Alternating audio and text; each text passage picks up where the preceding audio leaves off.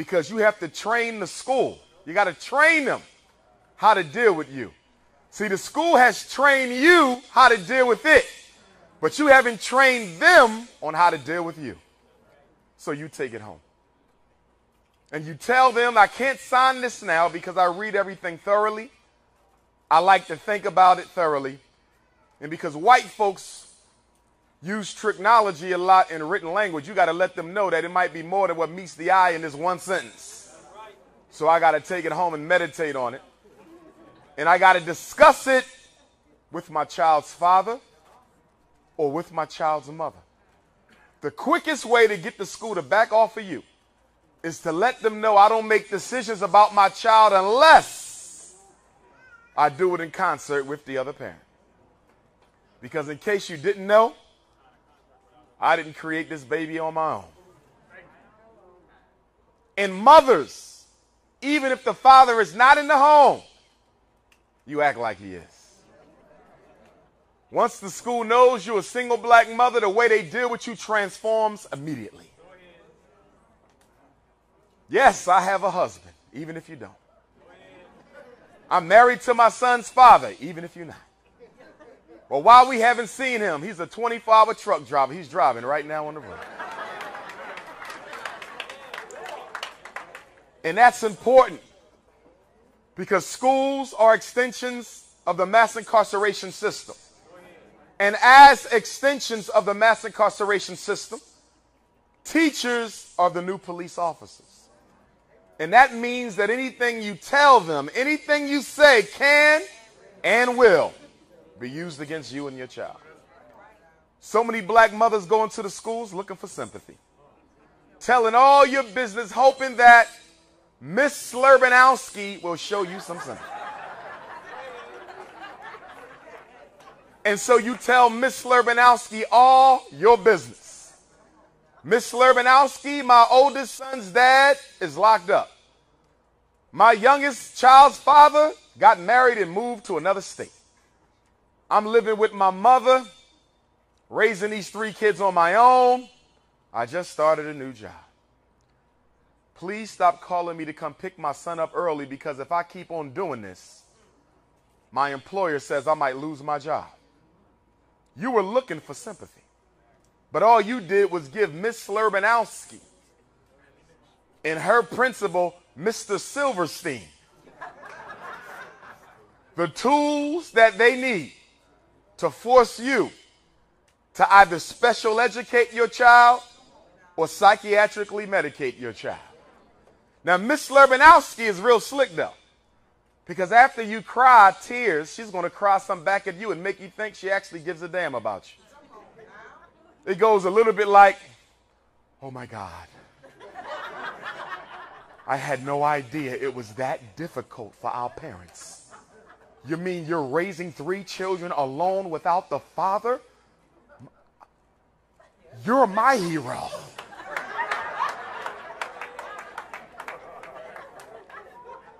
And Miss Slurbanowski got you think she's cheerleading for you. And the minute you walk out that school, she runs to the principal and the next time they call you in and tell you we need this boy on 10 milligrams of Concerta or 10 milligrams of Ritalin or 10 milligrams of Vyvanse or 10 milligrams of Metadate and you say no, they're going to bring up that conversation when you said you're raising three children on your own living in your mother's basement. And the next thing you know, Child Protective Services is at your door. Is it true that all your children and you are cooped up in one room in your mother's house? Because that's against state regulations for acceptable square footage for a child to sleep. Now that's some shit. Because when our kids go to school, there ain't no square footage. They got 30, 40 of them squeezed up in one classroom. It's all right for them to do it in school, but it's a problem in your home. So stop sharing your business. They're not on your side. Rule number two learn how to just say no to their requests for psychological evaluations. I need you all to understand that the learning disability is a professional opinion. It is not a scientific fact.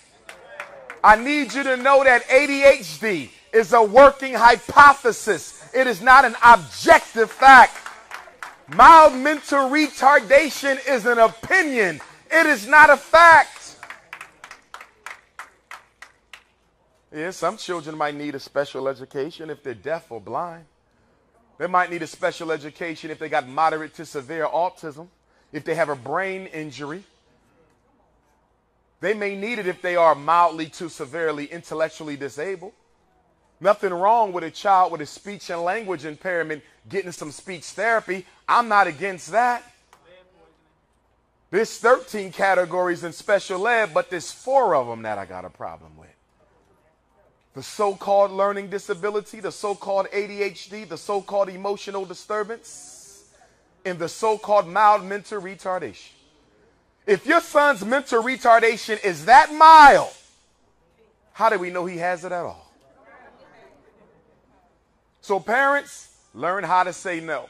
Because special education hasn't saved a single black child in Milwaukee. I put my son in special ed so he can catch up. Well, let me ask you a question. When a child goes into special ed, the instruction and the curriculum gets dumbed down and slowed down. So if you put your child in special ed to catch up, I want to know how the hell that works. How can you ever catch up if the instruction is dumbed down? Special ed is the pipe in the school to prison pipeline. In October, I'll be doing a prison tour in South Carolina. And I wouldn't mind coming back to do a prison tour in Wisconsin. We could set that up.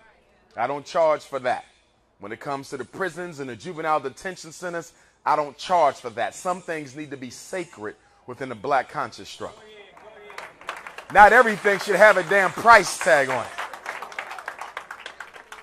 But when I go into the prisons, two out of every three, male, female, or juvenile, was in special ed. That's right. Two out of three had an IEP, incarceration education plan. IEP. 85% of special ed is for reading. Special ed can be reduced to reading problems. And why do so many black Milwaukee children have reading problems? Because 20 years ago they made a switch in reading instruction from phonics based instruction to whole language instruction. Now, what's the difference? When I went to school, I'm 40 years old, so you guys who my age, y'all know that when we went to school, it was phonics. That means my fourth grade teacher, Miss Mack, would get up in front of the class and she would put one letter on the board, A. The whole damn day was A. and she said, repeat after me. A, ah, ah. Again. A, ah, ah. Next day was the B. B, ba, ba. You got tired of it, didn't you? But she made sure you mastered the phonemes.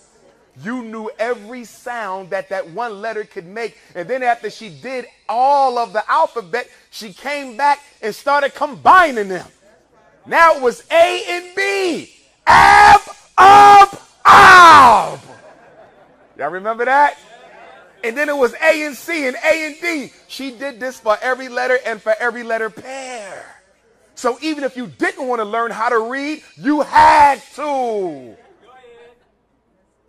But 20 years ago, white women said, that takes too much time. That is too much effort and too much energy. I'm not doing that. I'd rather go work out than do that damn. So they came up with something called whole language. You know what whole language is? Building your child's sight word vocabulary. It is memory based reading. Instead of teaching them how to sound out the word encyclopedia, we just going to put encyclopedia on the board and teach them how to memorize it when they see it. So when your child is reading a book, you think they can read well when the only reason why they can read that book is they're regurgitating words from long term storage. Memory. Which is why I say every black parent is a homeschooling parent. Because you can't expect even a good, well meaning teacher to give your child everything they need from 8 o'clock to 3 o'clock. But the truth be told, Milwaukee, some of you are not homeschooling those babies after school. If I go in your house right now, how many of you got a dictionary waiting for them children?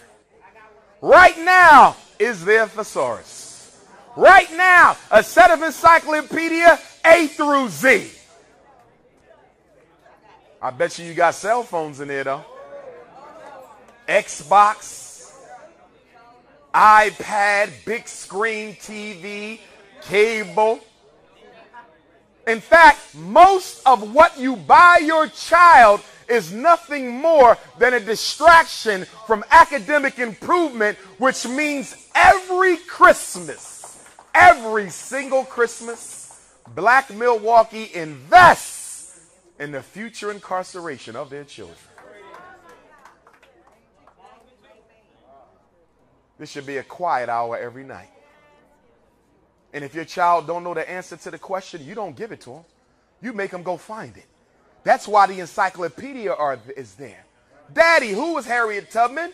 Mommy, who was Malcolm X? Go look it up. Harriet start with an H. Or are you one of those new Google parents?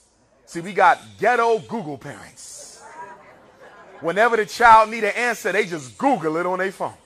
They got a book report due tomorrow. Just Google it and change the name, baby.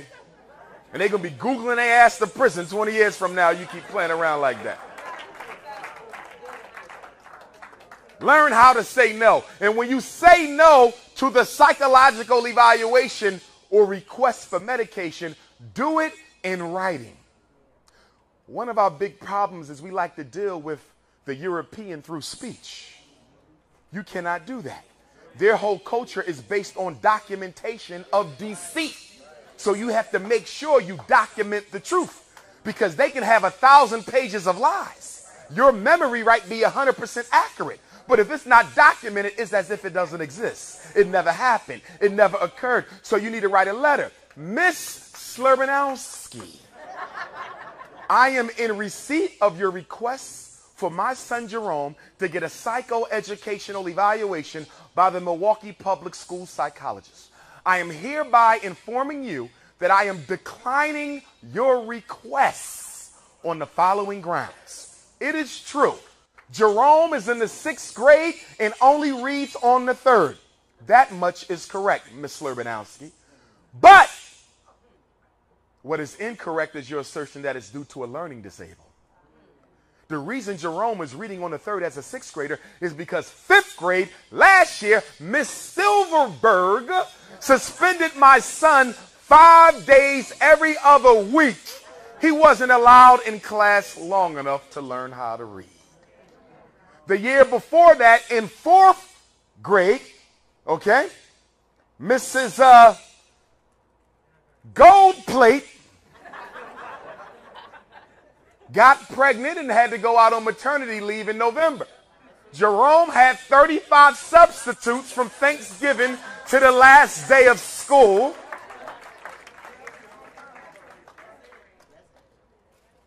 And in third grade, Miss Crazyberg, fresh from the University of Wisconsin, first year teacher, didn't know how to teach, and I'm not sure if she could read her damn self.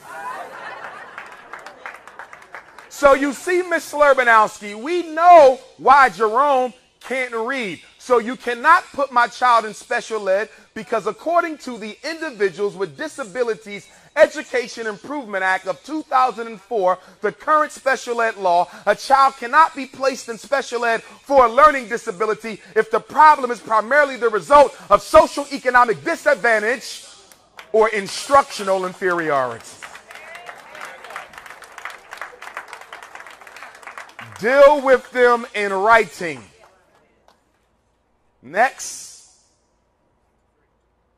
parents, you have a right to a second opinion whenever the school evaluates your child. Don't think that that report is binding upon you. It's not. If they say he's autistic and you don't think he is, you have a right to a second opinion. Miss Slurbanowski, I am in receipt of your psychologist's evaluation about Jerome. It has indicated that Jerome may have mild mental retardation, also known as intellectual disability. I do not believe my son is retarded. I have a federal and state right to an independent educational evaluation by a school psychologist of my choice. Upon your acceptance of my request for the independent evaluation, I will provide you with the psychologist who will be completing my son's second evaluation. And the bill goes to the school district. You don't pay a penny. If your child is in special ed and they're not learning, federal law says you can make Milwaukee public schools pay for them to go to a private school. You just have to substantiate that special ed ain't working. So here we go with another letter. Miss Slurbanowski. Jerome has been in special ed since the first grade. He still can barely read and he's in the sixth. Federal law says my child has a right to a free and appropriate public education. Five years of special ed and still reading on the first grade level when you are not retarded does not sound like it's appropriate to me, Slurbanowski. So I am demanding an IEP meeting to discuss my son's placement because I no longer approve of Milwaukee Public Schools as an appropriate learning center for my child. Deal with them in writing. And speaking of children being evaluated too young, if your child is in the fourth grade or younger, especially the third grade or under, why the hell you let them get tested anyway? You don't let no six year old get psychologically evaluated. You don't let a seven year old get psych. Every seven year old in Milwaukee is ADHD. It's called being a damn child, is what it's called. It's called being a normal child. Let's look at ADHD criteria. Loses things necessary to get his work done, taps with his hands or feet, acts like he's driven by a motor, blurts out answers, can't sit still, has difficulty playing quietly, what child plays quietly? Caucasian kids don't even play quietly. Any boy will meet that. ADHD is a fraud. It's regular boy behavior. The problem is that the schools are run by females. Public education is a female's industry and when the boy cannot act like a girl, he's considered disordered.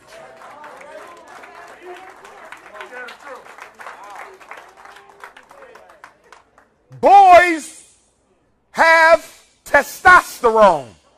Girls have estrogen. When girls go through puberty, they sleep all day. When boys go through puberty, they want to run all day. It has to be a different orientation. You can't expect a boy to sit still for six to seven hours. That's not his psychobiological orientation to his environment. ADHD. That ain't nothing but ain't no daddy at home disorder. He needs his daddy. He don't need the doctor or them damn drugs. He needs his daddy. See, the daddy brings the structure. Mom brings the love. Daddy sets the boundaries. Mom gives the support. Daddy keeps him in line. And mom makes sure he's strong enough to keep on striving. But when the daddy not there, now mommy got to do daddy's job, it gets a little tough. So the discipline falls a little bit. Not because she's not a good parent, but she should not have to assume a social role that is not consistent with her divine energy.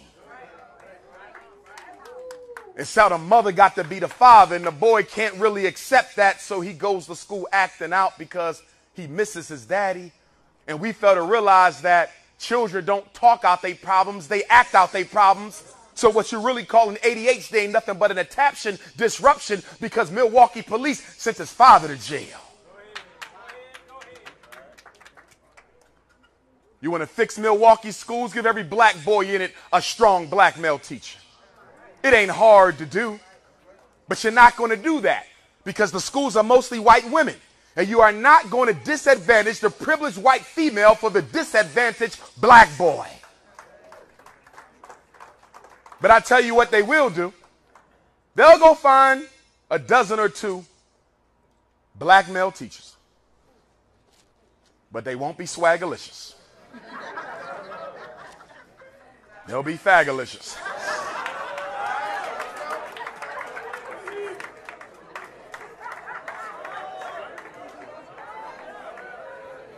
I'm just being honest. They'll go and find the softest ass black male teacher that they can find. And they'll bring them in to teach the babies. They can see, you got to understand something, Milwaukee. America hates, detests, abhors, and deplores the unapologetic masculine black male.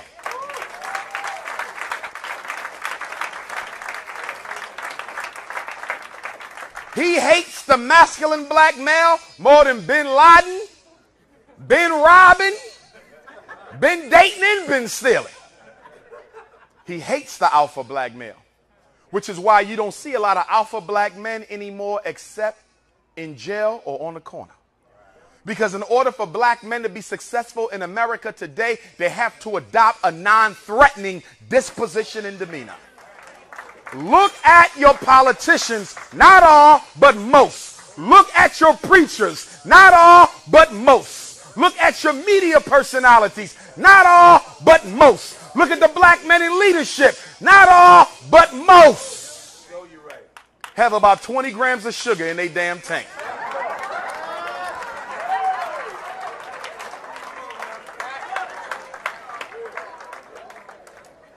It's sad, but it's the truth. I don't hate our LBGT brothers and sisters. I love them. They still family. But I have a right to disagree with your behavior and lifestyle. The free expression of that spells extermination of the black family, and it's no other way to talk about it. It's no other way to talk about it. It's no other way to talk about it. Right now in America, only one out of every four black women will get married. Right now. You keep on exploding this homosexual agenda, it'll be one out of a hundred. I got two little girls. What the hell am I'm supposed to tell them when they old enough to get married? That your brothers in the street would rather be with other men than be with you. God did not order the world that way. Study physics. For every positive charge, there's a negative to balance it out. For every yin, there's a yang. Everything exists in divine harmony. For the sun, there's the moon. For land, there's the water. For the man, there's the woman. When you put two negatives together, that can cause an explosion. When you put two positives together, that can cause a nuclear reaction. In order for electricity to circulate, the positive charge must be married to the negative. That's our spiritual foundation and you don't let Barack Obama or Hillary Clinton or Donald Trump or anybody else come and tell you how black people supposed to run their damn families.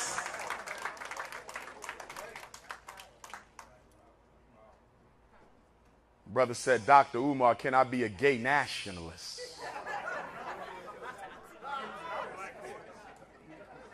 Well, let's look at the word nationalism. The root word for nationalism is nat, which is a derivative of nature, which means to procreate. So if you are in a same sex relationship where you cannot procreate, you cannot reinvent the African life, how can you be a nationalist when your relationship is against our nature?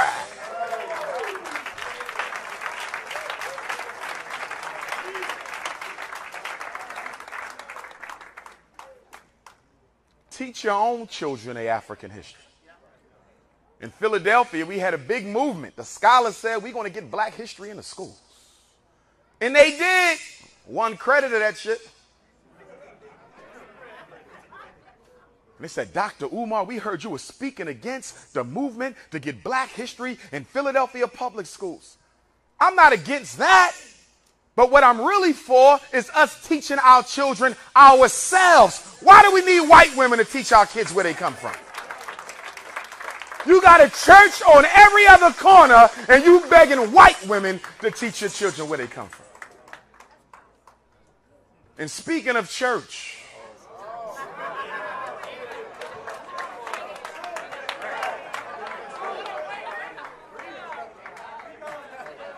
Deacon Watermelon, Reverend Chicken Wing, and Pastor Pork Chop. Still conning the hell out of black folks. $13 million every Sunday is what we give the church nationally. $13 million every Sunday, 52 weeks in a year, but Black Milwaukee ain't got his own hospital yet. Black Milwaukee ain't got its own manufacturing plant yet. 13 million every Sunday nationally. Black Milwaukee ain't got its own import export business. What good is church if it's only going to help you prepare to die? We don't need institutions that get you ready to die. You're going to do that all by yourself. We need institutions that's going to help us live and thrive. That's what we need. And if your sole purpose is to prepare me for death, what the hell you need money for to do that? All these mega churches. My problem with the mega churches, how is it you floating a $50 million mortgage for a gigantic prayer house that employs not a single black person? The mortgage is a hundred million, but you don't put no money in no black people's pockets. But we're going to give a hundred million to the cracker banks. Are you serious? Not an after school job for a single child in Milwaukee, but you'll give the white man a hundred billion in the name of Jesus. And by the way, your ass ain't worshiping Jesus Christ anyway. You worshiping Jesus Cracker. And there's a difference between Jesus Christ and Jesus Cracker. So when you go to church tomorrow, let me know is that Jesus Christ on the wall or Jesus Cracker on the goddamn wall? Jesus Christ was blue, black, purple. Jesus Cracker is white. Jesus Christ got a nappy ass head. Jesus Cracker got a perm. And black people wonder why their prayers don't get answered when you praying to Willie Lynch himself.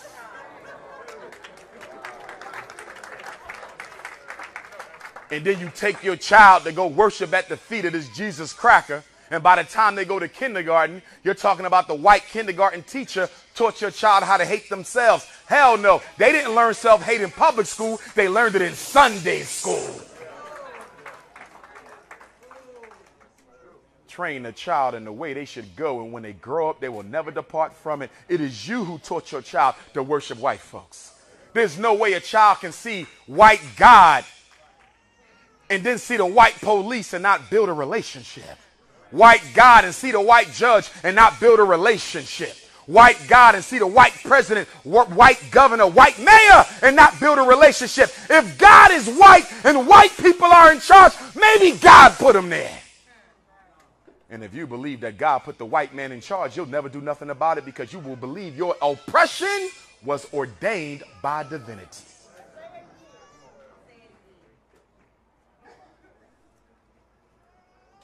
Any religion that tells you you got to die to go to heaven is a religion you don't need. I'll be damned if an imam, pastor, rabbi, whatever the hell y'all want to call yourself, I'll be damned if you're going to tell me I got to die to go to heaven when the white man got his right now, and the Chinese got his right now, and the Arab got his right now, and the East Indians got his right now. So what's so divine about the others that they can have heaven on earth? And I got to have mine in death. And then your pastor take all your Jesus money and put it in a white bank, and that white bank will give your black people's Jesus money and write loans to white folks to come into the inner city of Milwaukee and buy you out your own damn house with your own Jesus money. With your own Jesus money.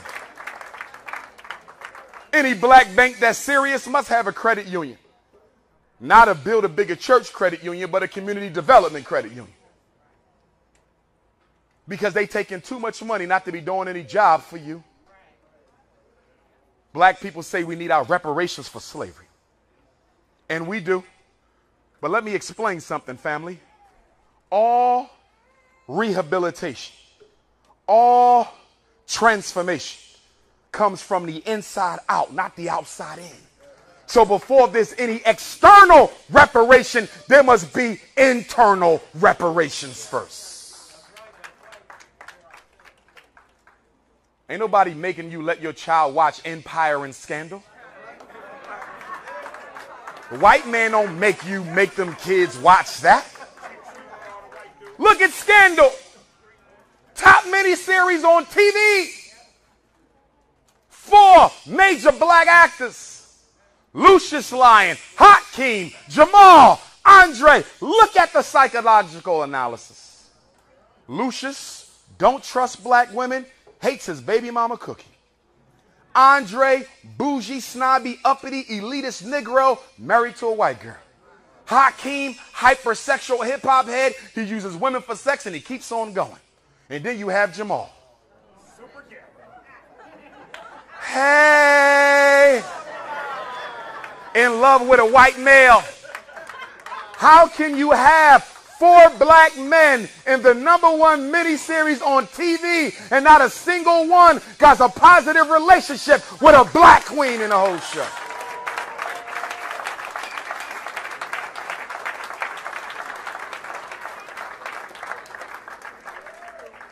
TV ain't entertainment, television is political. You know better, but your 13 year old don't know better couple episodes of Empire, not a black girl in Milwaukee would want to marry a black man after watching that for three seasons.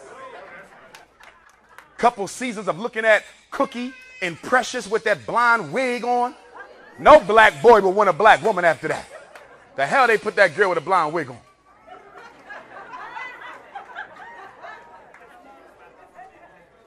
Damn near scared me the other day. Turn the television off. Make them pick up the books and read them. Police been killing black folks like it's going out of style. We didn't seen it all, didn't we? Michael Brown and Trayvon, Eric, Sandra. And two weeks ago, you had your own situation here. Brother murdered by the police in Milwaukee said, We ain't gonna let this one ride this time. And the bougie Negroes was mad at you. Negroes who act pro-black ran their ass as far as they could away from that burning car. Not me. It wasn't me, master. I was nowhere there. Shit got hot. No, master. I went home. Y'all really saw who was grassroots that night, didn't you? That's right. Them college educated Negroes skedaddled their ass back to the suburbs. And then your mayor, what's his name? Tom Barrett. He said the Milwaukee revolt was fueled by social network. No, Mr. Barrett, it wasn't fueled by a social network. It was fueled by your trifling white ass and what you ain't been doing for black folks. It was fueled by unemployment. It was fueled by mass miseducation. It was fueled by mass incarceration, lack of access to quality health care, poor living conditions. You fueled that shit, Mr. Mayor. Don't blame it on Facebook.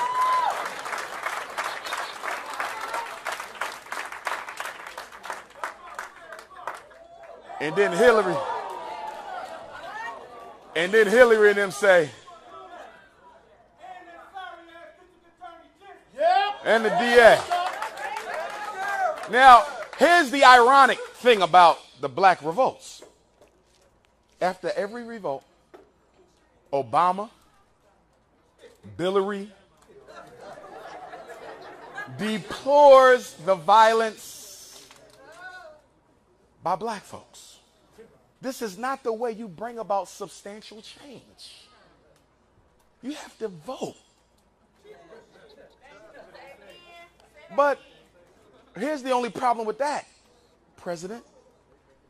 When I studied the history of the United States, I learned that the United States was birthed by reaction to police brutality known as the Boston Massacre. Your country was born because citizens said, I had enough of this shit. But when black people's time comes around, it's not appropriate. Fighting against police brutality gave you the United States of America, but it ain't supposed to give us nothing. Revolt has its place. Yes, it does. Because it reminds the white man that every black person ain't scared of your ass.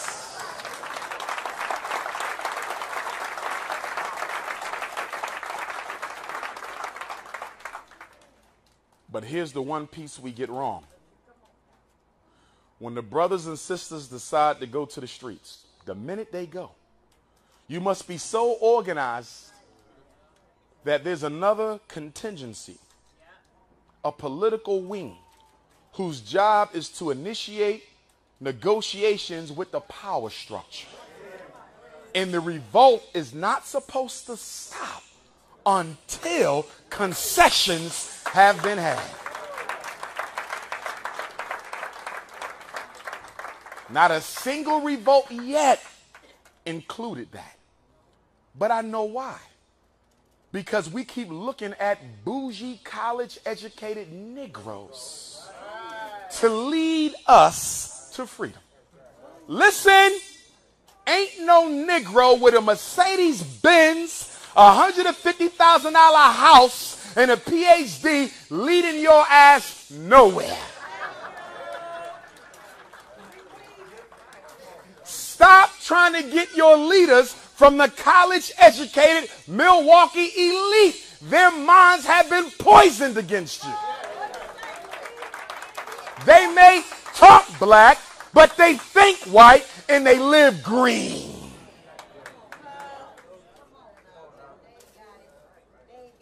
The black bourgeoisie has been the biggest check on the progress of black folks since 1968. Some preachers, not all. Some politicians, not all. Some businessmen, not all. Some community leaders, not all. Some blacks in the media, but not all, who use their radio shows and TV shows and magazines and newspapers to do nothing else but distract you from your real issues. We ain't gonna talk about the revolt, we're gonna talk about Beyonce's concert. We ain't gonna talk about the revolt, we're gonna talk about who got robbed at the stop and go. We're going to talk about miseducation. We're going to talk about Hillary Clinton's upcoming campaign finance fundraising dinner. Some preachers who don't organize the congregation to fight racism while we're alive, they just want to prepare you to die. Religion got a lot to do with this. because religion has deified oppression to black folks. That's right. You go to church and the pastor say, don't worry about being broke. Don't worry about being broke at all. Jesus had nothing but the cloth on his loin and his sandals. Yes, he make you feel good about being broke. Blessed are the poor, for only they shall inherit the earth. And then you start saying, "Oh shit, all right." I'm...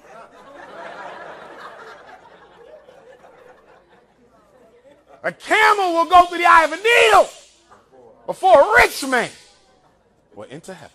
Never mind my house and car, though.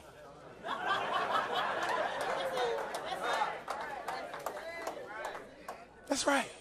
He evangelizes oppression. And if you've been taught all your life that money is the root of all evil, as soon as you get it, you try to get rid of it. And that's part of the reason black people like to shopaholic they ass all day long. It's okay to be broke because after all, God don't like money. Well, guess what? Money is not the root of all evil. Not having no damn money is the root of all evil. When you go home tonight, your ass ain't ducking from rich blacks. You ducking from John John and them. God put you on earth to be abundant. God put you on earth to be plentiful. And don't you go trying to blame God because your ass ain't got the balls to stand up to white supremacy.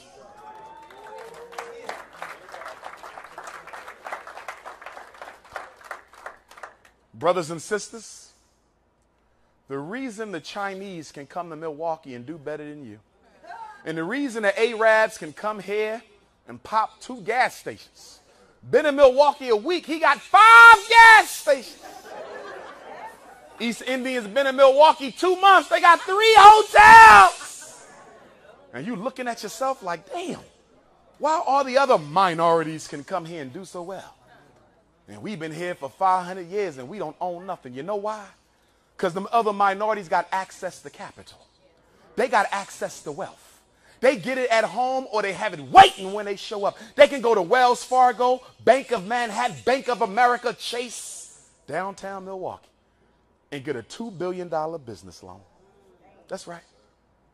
That's right. Easy money. Popping up stores all in your ghetto. Only kid even speak English yet. No, sorry, we not sound. Right? And you ain't got that because they systematically deny you access to wealth. Everybody knows you need wealth to build. That's right. The problem is our churches are not wealth building institutes. They are wealth draining institutions. Which is why I believe the black church can no longer be the centerpiece of our community.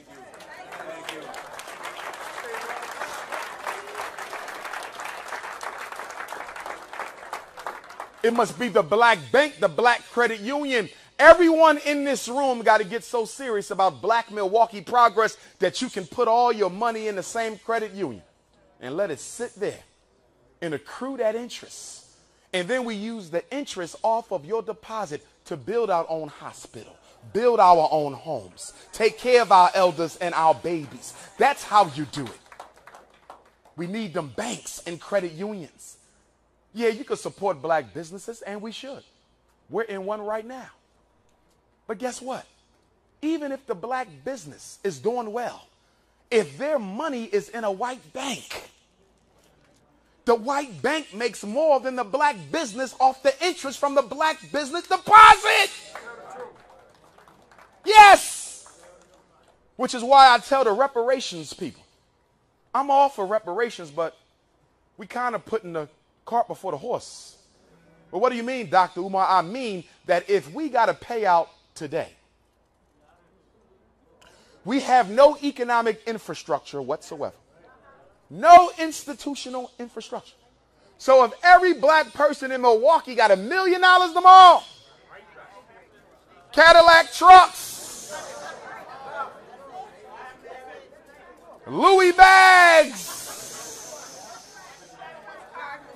weed shops, medical marijuana plants will be a million dollars richer tomorrow. In fact, you know what, Milwaukee? I'm going to keep it real, real with y'all. I think white folks and Chinese will fight harder than you for you to get reparations. Because the shit coming right back to them. That's right. See, I got some questions for the reparations people because I, I ain't got some answers on some. First of all, can I please see the lawyers? Who are the attorneys that we are trusting to settle our payment for that unreimbursed labor of our ancestors? Who are these people? Are these bourgeois lawyers or are these grassroots lawyers? Are these lawyers working pro bono and doing it because they love their people? Or do they get 40% of the damn payout? Oh, yeah. Because black people love talking that black stuff to get a check. That's right. Black cap black consciousness is the new capitalism. Hell yeah. Get your ass to dashiki, run to Egypt, change your name, burn a pack of frankincense and sit. Show ass a drum and a quarter pound of shea butter in a veggie wrap and your ass is conscious. fake ass conscious black man. And let me say this to the conscious brothers. You are not conscious. I don't give a damn how conscious you think you are if your queen ain't black. I'm so tired of you fake ass revolutionaries with white women, Chinese women, Arab women, Jewish women. You cannot be conscious and committed to the oppressor's daughter. I'm so tired of that shit. I got to explain that everywhere I go. I got an email yesterday when I was in Chicago. Brother said, Brother, we got to talk about this, man. Because I love my people. Yes, my wife is white, but I married her 20 years ago. Shit, Doc, can't you let me slide? No! Get rid of her. I can't. We got kids. How old is the youngest? He's 13. Well, five years, Underground Railroad her ass.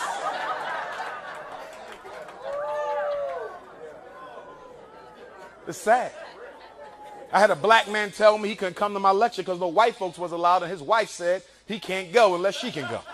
I said, you are the softest nigga I met in my life. A white woman could tell your ass you can't go to a black conscious event. That's ridiculous. Black men, we got to commit ourselves to black women. We got to be unapologetic about it. They got to see it. Our sons got to see us loving up on black women. They got to see us respecting black women. They got to see us picking up black women. They got to see us fighting for black women. They got to see us dying for black women. Yes, they do. Yes, they do.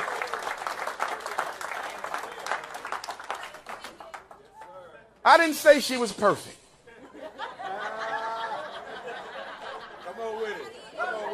You get on her nerves, she'll put your business in the street.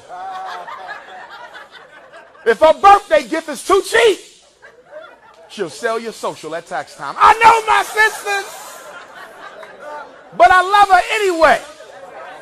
I love the way she talk. I love the way she walk. I love the way she look. Nothing better than a black woman soon she get her hair done and she put them jeans on and she walk down the street with them professional glasses on trying to act like she ain't think about you but she flirting her ass off with that switch I love black women butter almond butter pecan sweet brown sugar chocolate cocoa lemon I like them skinny. I like them athletic. I like them petite. And I love them voluptuous. But you got to love her. You ever walk into the kitchen, brothers, and you open up the refrigerator, ain't nothing in there to eat? Your pockets is empty, just got laid off. You're like, damn, we can't even make nothing to eat in here. No canned goods, no sardines, no. That black woman will walk in that empty ass kitchen.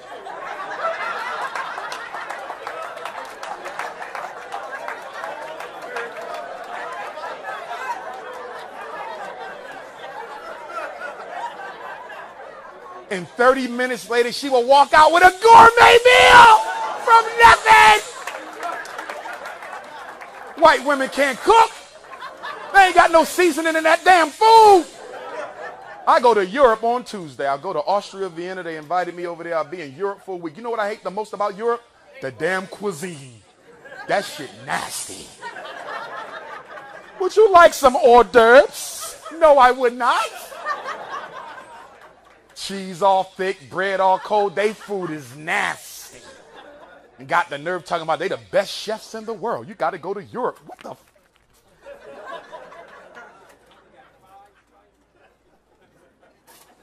Black woman got that paprika, that jerk sauce.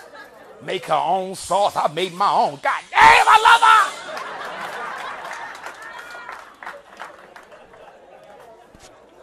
So, brothers and sisters, we got to find out who the lawyers are for reparations.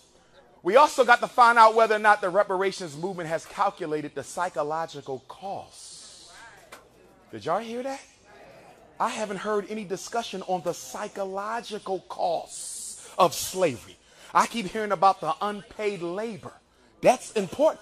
But what about the psychological restitution? Do you know you can get more from psychological damage than you could for the unpaid labor? But I'm not hearing no conversation. And then I'm also wondering why certain groups that participated in the Ma'afa have not been named. The Roman Catholic Church has not been named? How the hell you going to fight for reparations or you don't talk about the Pope? No Arab countries have been named? They were in slavery before the white man. So you mean to tell me they get a pass? In fact, they still trading slaves right now in East, East Africa. And then the reparations movement is divided. I just came from Jamaica Sunday. I was the keynote for the Garvey celebration in Ocho Rios. You know, CARICOM got their own reparation struggle. Black America got its own reparation struggle. Our brothers and sisters in the United Kingdom, London, they got their own reparation struggle. And then the brothers in Africa got their own reparation struggle. Do you realize that it was one slavery? It was just one. You got to unite all of them, or the white man will play them off each other, and we won't get nothing. And then my last question for the reparations people what dollar amount you put down on that paper? Because it ain't one that's going to suffice. If it was up to me, there would be no money changing hands. We don't need no damn money. The white man's money ain't worth nothing anyway. I want wealth. I want assets. I want exclusive control of land, resource, certain waterways. I don't want no damn cash payout. Well, what's wrong with getting cash payout, Dr. Umar? Shit, I got bills. Let me tell you why we should not settle for cash payout. The reason you should not settle for cash payout is because America, the white man's benefit from your ancestors' enslavement, can never expire. He will always benefit from your ancestors' enslavement. So if he give you a dollar amount, the money will expire at some date. So if his benefit from slavery never expires, my restitution should never expire either. Did y'all hear me? Just like when you guys put together that black grassroots Milwaukee Leadership Committee that y'all need to put together to meet with the mayor, and meet with the governor, meet with your state reps and U.S. reps, and meet with your council persons, and meet with the state secretary of education, because y'all need to do that. Your revolt is still fresh. Y'all need to get that political wing organized so they can start negotiating with the power structure, letting them know that you need to get on this shit because that might pop up any moment again. I don't want y'all to settle for no damn money because that's the first thing they're going to do, Milwaukee. Y'all going to come and sit down and they're going to say, hey, you guys are right. This shit is bad. Here's what we came up with, guys. $50,000 in after school programs. Uh, we're going to do uh, $75,000 uh, for some new homes, new project. Uh, we got another uh, 100000 for small business loans. Better yet, Obama, I got a call from the president. Obama said he's going to give us a half a million for small business loans. And if the people you choose to negotiate away your oppression are thirsty, greedy ass Negroes, They're going to run with that damn petty ass grant money. You don't want no damn pocket change. What you want is lasting transformation. You need renewal through the city. Don't settle for no damn grants. They've been granting niggas cash for 50 years, and that's why we ain't got nowhere. The first thing they supposed to say when they come to that table, put the checkbook down.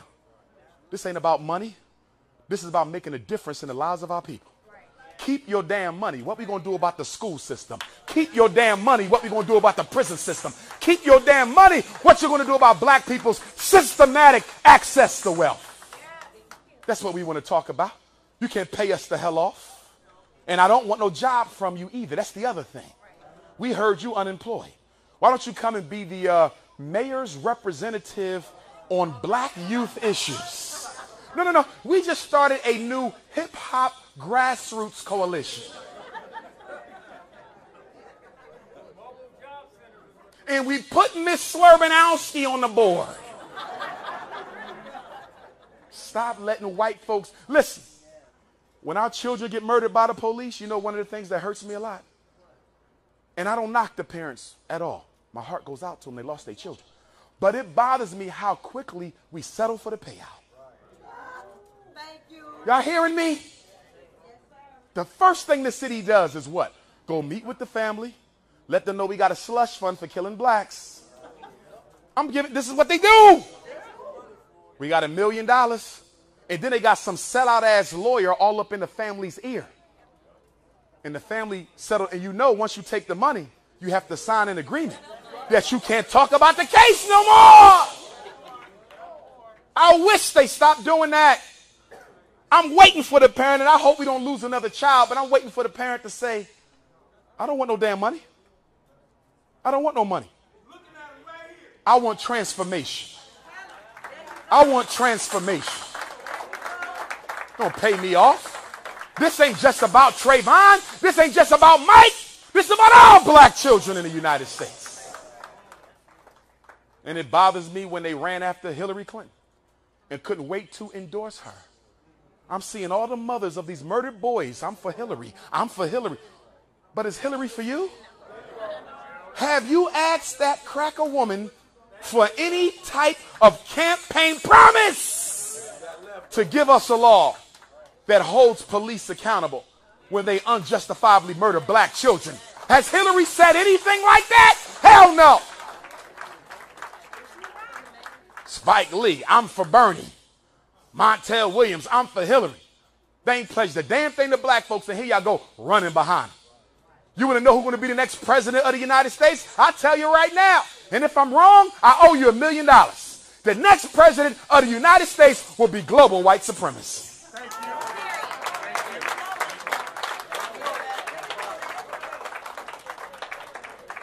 Well, Doc, we got to vote because our ancestors died for it. Excuse me.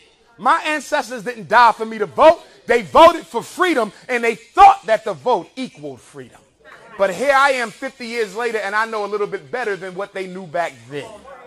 They died for freedom. They didn't die for voting. They thought voting was a means to the freedom. Why do black people do worse when black people are in office? Why do black people always do worse when black people are in elected office? You got a few exceptions. Harold Jackson and Maynard Jackson, and you got a few exceptions. Adam Clayton Powell, you get a few. But you only get a few. And the reason they sell you out is because the average black politician is elected on white campaign contributions. Dr. Umar Johnson wants to be the mayor of Milwaukee. That brother's sharp. But there's only one problem. If I got to go to the Milwaukee Democratic Committee for some money to run, if I got to go to Walmart, if I got to go to the Chinese, if I got to go to the Arab gas station, I got to go to the East Indian hotels, I got to go to the Jewish owned banks. By the time I get elected, my whole mouthpiece been bought. Did y'all hear that? I don't care how good of a person he is. If white folks is financing a campaign, they own them. That means that the black politician selling you out is partly your own fault. Because black Milwaukee should have a political campaign fund. So when you choose, don't let them choose you. When you choose the brother to be mayor or sister, you step to them and you say, listen, we want you to be the next mayor. We want you to get rid of Tom ass in there. How much is it going to cost you to beat him? Well, I heard that man been mayor since 2004 in Milwaukee. Is that true? Y'all don't got term limits here? It's 2016. God damn. What, he got three terms in? Is there a term limit in Milwaukee? Seriously. Does, so he could be mayor for the rest of his life. Damn, this shit is crucial. So listen, if he can be mayor forever, that man must be spending $5 million on his campaigns. That means we're going to have to spend five. If y'all really that serious about black freedom, y'all going to have to sacrifice your Christmas shopping and put that damn money in an account and find you somebody run against that damn cracker to get him on up out of office. That's how you win. That's how you win. But you know what the problem is? Mayor Tom, I'm willing to bet Mayor Tom, because every white politician has this. Mayor Tom got a strong ass black bourgeoisie support base. I don't even live here and I'm willing. He got some house niggas who will dance for that man. He got some high for, I bet you he got some black churches in his pocket. Jesus Cracker, yes.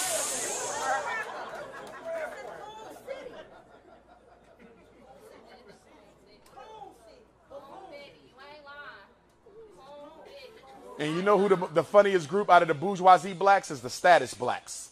Because you got the religious bourgeoisie, the media bourgeoisie, the education bourgeoisie, the economic bourgeoisie. You got the status Negroes. The status Negroes is the Negroes in Milwaukee with titles. They got a handful of business cards. You say, how you doing, my brother? Pleased to meet you, Dr. Johnson. Welcome to the city. I just want to let you know my name is uh, Jerome Dashiki, and I am I am the mayor's assistant, vice, under deputy, recently appointed, not yet validated assistant to the third vice chancellor, who's the undersecretary to the vice secretary for trash collection on Monday morning. Welcome to the city, my brother. And white folks put all these black people in position with these big titles. Why they do that? To make you think that they are empowering black folks. And then when you want to get something done in Milwaukee, you say, hold on, I got these business cards from that brother. Who was he again? I don't know. That shit was long. Vice.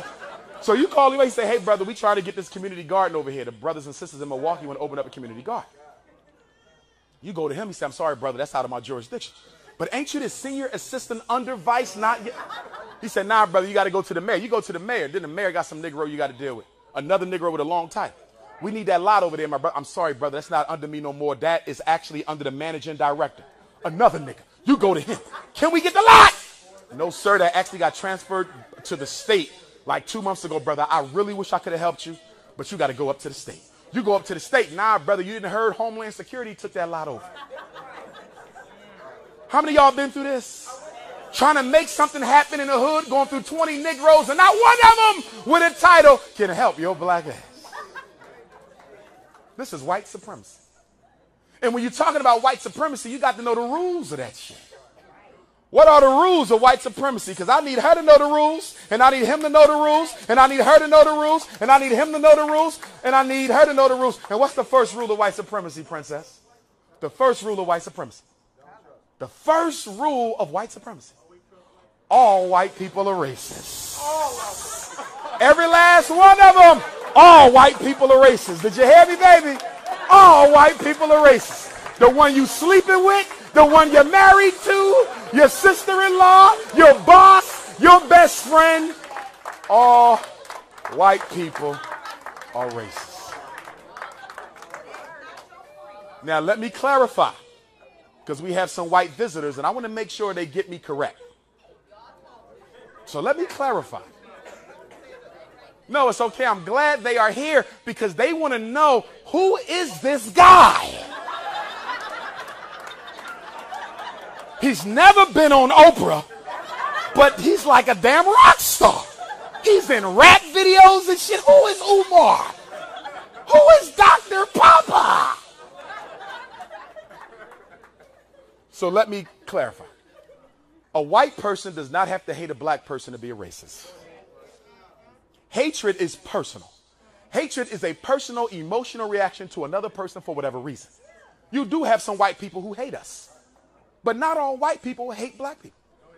Some white folks actually like you a lot. Yes, they actually like you, but their like for you has absolutely nothing to do with their obligation to their in group to make sure Caucasians stay in charge. And that's what you got to understand. That's what you got to understand. They play pool with you. Let's go golf. Let's go have sex. Let's make a baby. Fucking real. but guess what? When it comes time to keep power concentrated in the hands of white folks, they all in board for that. That's why you never had a movement ever in world history, nowhere on earth, by white folks to remove their white privilege. They carry that card proud. That's right. That's right. And that's why black people get confused. Because you say, wait a minute, my best friend is Sally. Me and Sally went to school together. We got married together. My mom knew her mom. We lived next door to each other. We went to college together. We got a job together. And then I found out that a certain managerial position was available and Sally knew about it and she didn't tell me and instead went and told a white person she didn't even know. And the white person got the job and now I'm all confused because I know Sally cares about me, but why did she give a job that was meant for me to a white person when I'm her friend? Because you fail to realize that friendship is personal. White supremacy is business. And that's why y'all don't get it. It's a business. In fact, call it white supremacy incorporated. That's right, black man. You gave that white girl five babies and she's still a white supremacist. Let her get a phone call by her people saying, listen, we need you to entrap that fake ass nationalist up there in Milwaukee who gave you all them babies. She would be right there to do it. She would be honored to prove her loyalty to her people. Tiger Woods' ex wife was honored. Tim Duncan's ex wife, honored. O.J. Simpson's ex in laws, they were honored to destroy him. That's the first rule of white supremacy. They all racist. And because I know they racist, me and white folks can have a good conversation. They call me up, hey, Doc, you want to do lunch, man? I got some questions. they be shocked as shit. Like, this dude got a doctorate just telling us that we ain't shit. but I don't disrespect white folks. They, I respect them. They respect me. But at the end of the day, I'm unapologetically African and he unapologetically Caucasian. And to be honest, he can deal with me more than he can deal with you. You know why? Because you want to marry his daughter. I don't want her ass. You want to live next door to him. I don't want to. That's right. You want to integrate. White man can't stand it. Integration is Negro. And why do white folks hate integration? Oh, God, they hate integration. Lord have mercy. Don't talk about that. You know why? Because you fail to understand why integration was even birthed why white supremacy was even conceived, why eugenics was even created. It all comes down to fear of a black planet. See, segregation in Milwaukee back in the 60s wasn't about power, it wasn't about money, it wasn't about influence, it was about keeping the black man's phallus out of the white woman's vagina. Segregation is about keeping that out of this. And why? Why is the black man so despised and hated? You ain't got no job. You got two felonies. You've been in special ed your whole life. 20 bottles of Ritalin pills. And the black man walks into a room with a rich white man. Got a rich Italian, rich Chinese. You got the Jewish banker, Arab gas stations, East Indian. And you got a broke ass black man walking to the room and they all hate his ass. Why do they still hate you, black man, even when you ain't got nothing? Because you're the only one in that room who can reproduce himself in the women of anyone else in that room. Not one of them can make himself through you, but you can make yourself through him. You are God, and he knows it. Oh, he knows.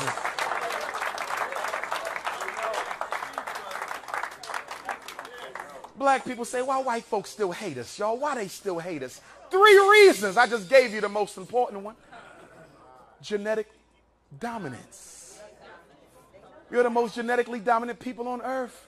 It don't matter who you reproduce with, you make yourself. The white man with all his money and tanks and bombs cannot make himself in anyone else's woman.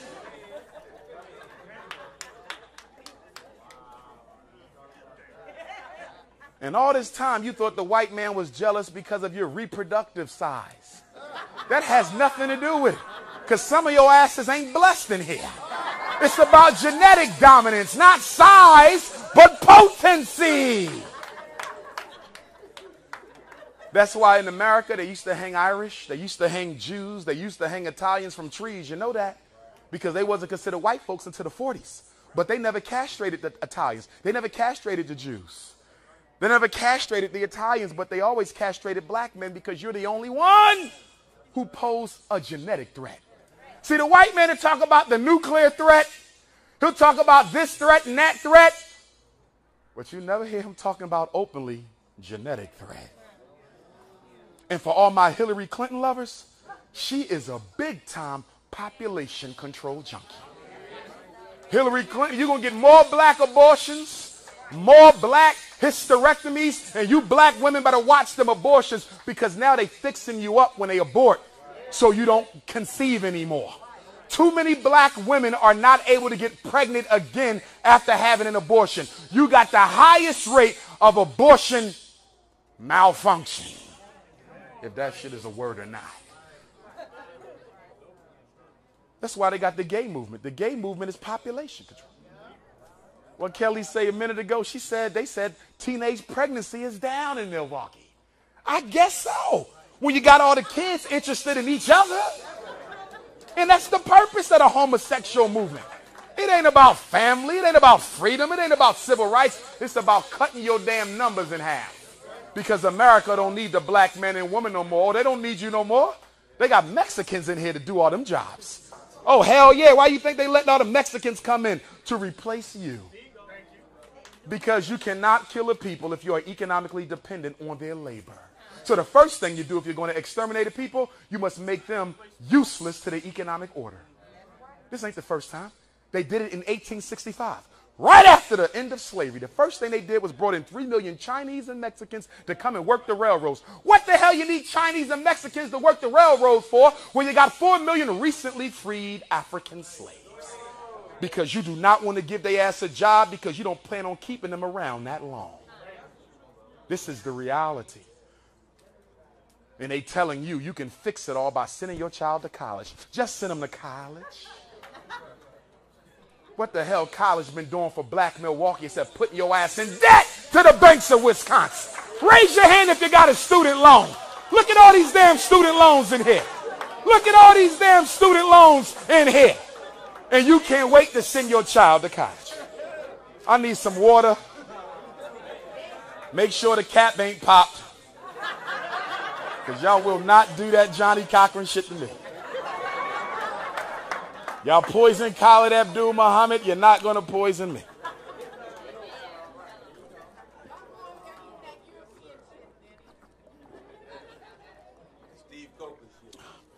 Steve Cokely. Hell, Steve said if I ever go to the hospital, I know I ain't coming out.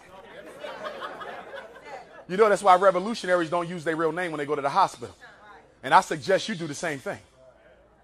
Any of you brothers active in the community? Mayor Tom, know who you are?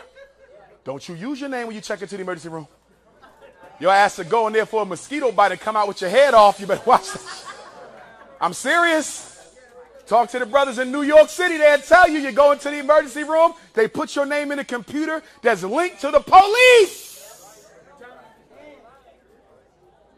Y'all remember Mayor Chokwe Lumumba of Jackson, Mississippi? Our revolutionary brother who became mayor in the capital state of Mississippi. He went into the hospital with chest pains, walked into the hospital on his own free will. He's the first person to bring me to Mississippi.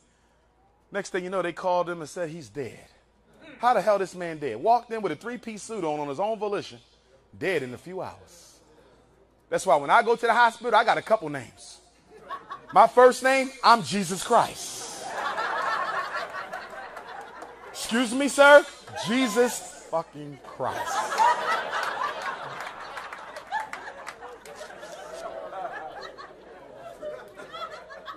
That's right. That's right. I don't use my real name. Dr. Sebi was murdered. Dr. Sebi was murdered.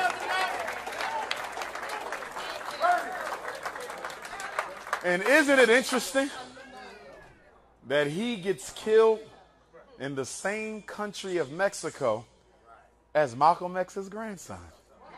Under the same circumstances, transporting a large sum of cash. I got two I got three three theories on the Sebi murder. Rest in peace. One, black people were involved. I, I have to entertain that. I'm not saying they were, but I study black assassination. And normally a nigga was involved. And I'm ha- finding it hard to understand how this man was in jail for weeks. And nobody told us that shit. In the hospital for days. And nobody told us. We could have went down there, did a protest, had an international outcry about it. But nobody told us. There might be a reason for that. So we're not incriminating because we don't have all the facts. But that is some very suspicious shit. I'm telling y'all right now, when I go to South Africa next month for that month long tour, and my ass get locked up and you don't hear about it, blame the people who brought my ass. Because ain't no way in hell I ain't making a phone call to let somebody know I'm in here. You need to spread the word. Number two, the cops killed him for the money he had. They said he had $30,000. You multiply that by Mexican money, that's a nice chunk of change. They took the money and murdered him so he couldn't tell what actually happened. And number three, which is probably the most likely reason, the Food and Drug Administration conspired with the police force of Mexico to murder Dr. Sebi. Because you know, the day after they murdered him, we found a cure for AIDS.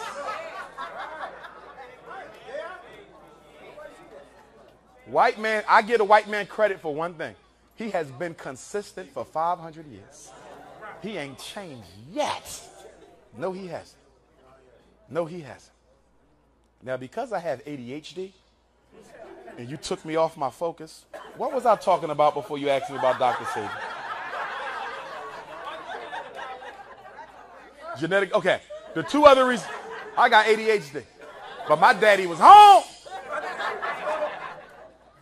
I couldn't get, and he was a drill instructor for the Marine Corps. So I could never come home and tell my daddy, I cursed the teacher out. I think I need some drugs. White people can't stand you because of your historical achievements. You built the greatest civilizations on earth, and they know that if you did it before, you can do it again.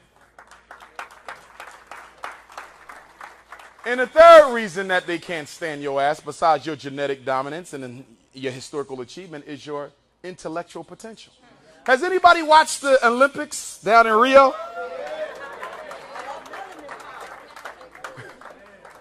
Usain Bolt winning all the golds.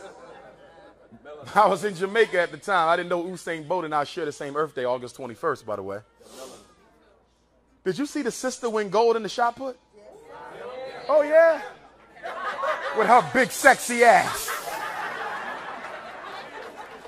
Did you see the sister win gold in the swimming?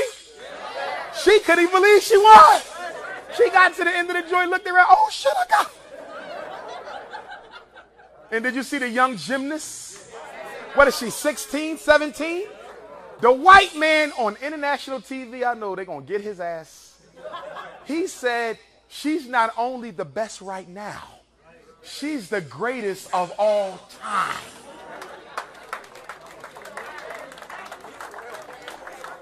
White folks know what you can do.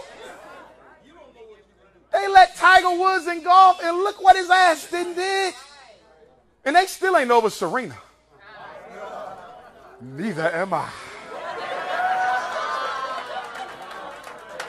Stop it! Good God Almighty. Jesus Christ. I know there's a Lord somewhere. But every time they let you in some shit that's supposed to be white, the cream rises straight to the top. So white folks is like, wait, these people built the pyramids. Every time we let them in any sport, they take it over in five years. And then on top of that, they invented 85% of the shit we use. And they invented it before they could go to school with our kids. These people came up with the helicopter, the internet, the cell phone, the refrigerator, the walkie-talkie, gas mask, stoplight, and everything. Listen, let me give you the hypocrisy of white supremacy. If you are supreme to another people, you do not have to, in any way, shape, or form, disadvantage the competition. If you are naturally superior, you do not to manipulate my failure. And if you have to manipulate my failure, by contraindication, you're actually proving who's really supreme.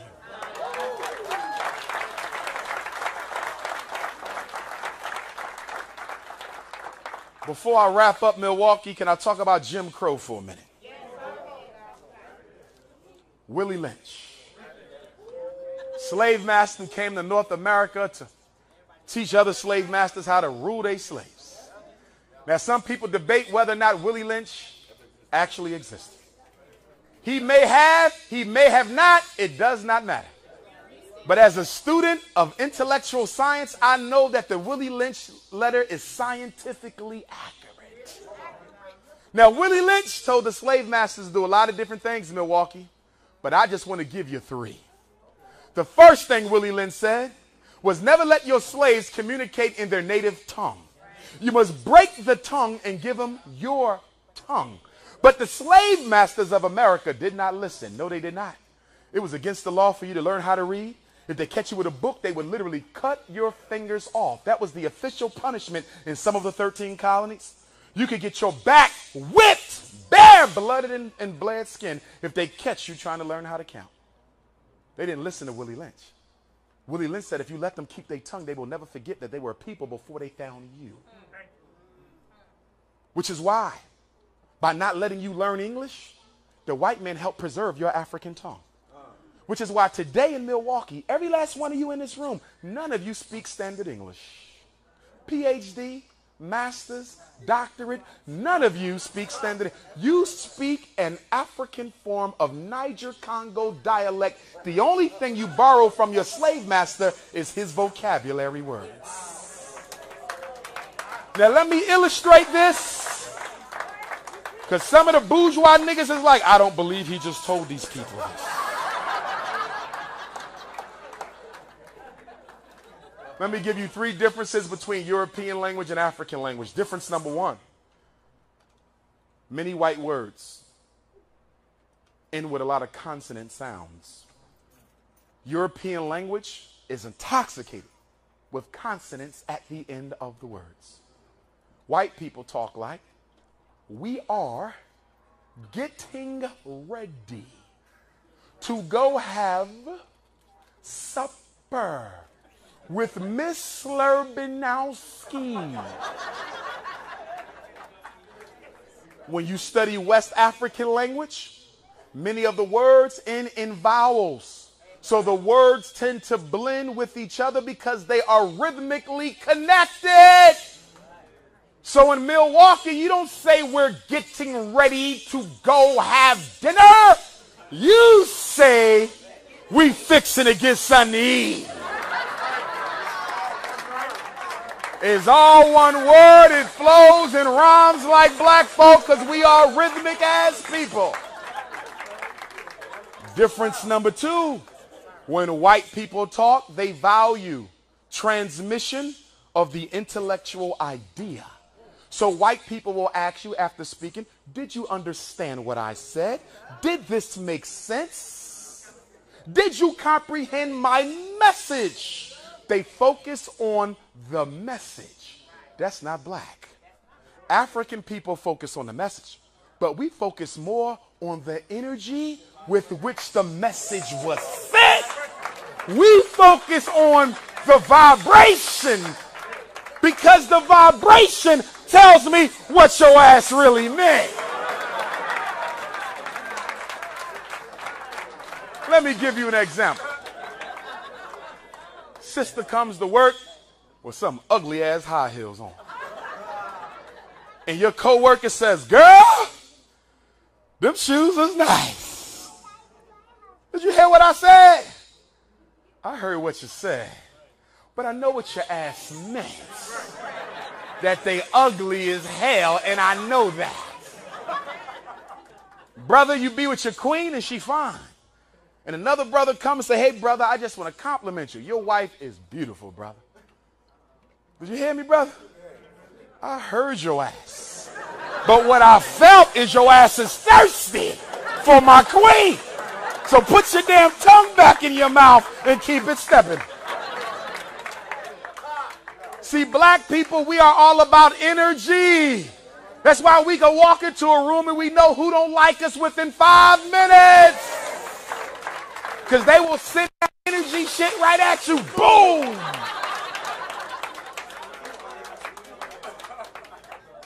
And the last difference that I will talk about between white language and black language is white people believe that only one person should talk at a time.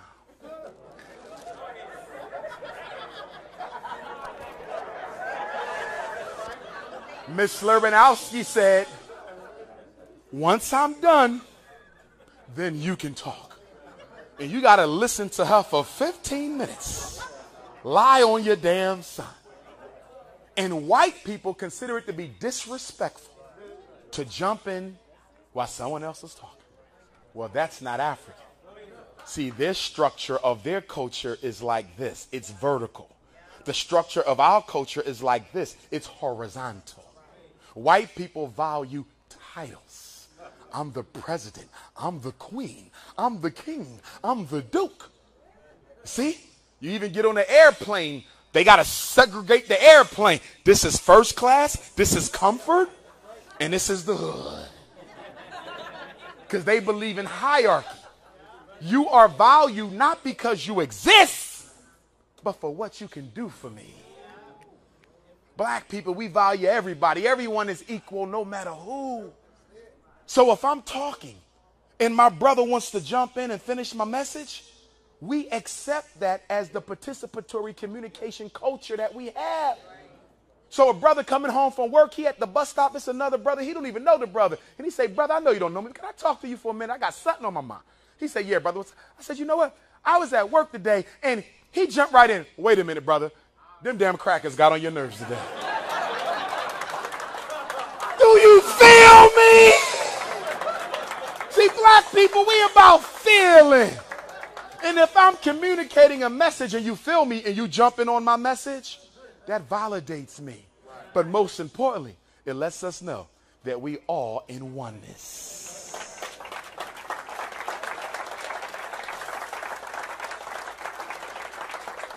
And then Willie Lynch said, if you want to control black people in Milwaukee, you got to introduce petty differences into the community. You need the Muslims fighting with the Christians.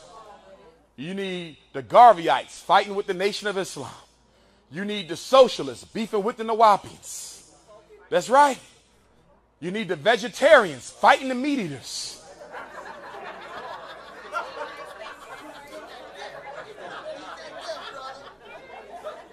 Them vegetarians is crazy.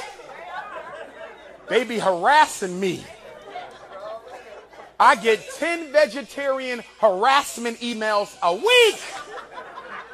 Brother, you are the top speaker right now, and you are not sending a good message by eating that flesh.